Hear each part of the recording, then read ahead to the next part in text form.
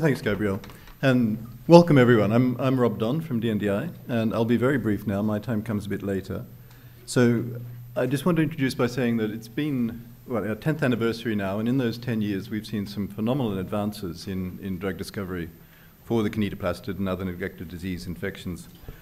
Um, what I'd like to do today, though, is really, rather than look back and look at the successes we have, is, is sort of draw a line in the sand where we are now and really look at the challenges that still, still remain. So, so I've invited um, six speakers uh, today to talk about both biology and chemistry and some of the challenges in the future.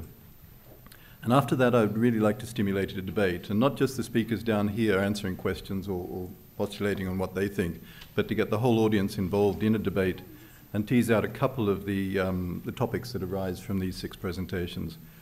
Uh, so we will try to keep as much as possible to time and possibly even limit uh, the questions during the, the, presentations if necessary so that we can spend uh, a decent amount of time talking about the future and some of the issues that we face.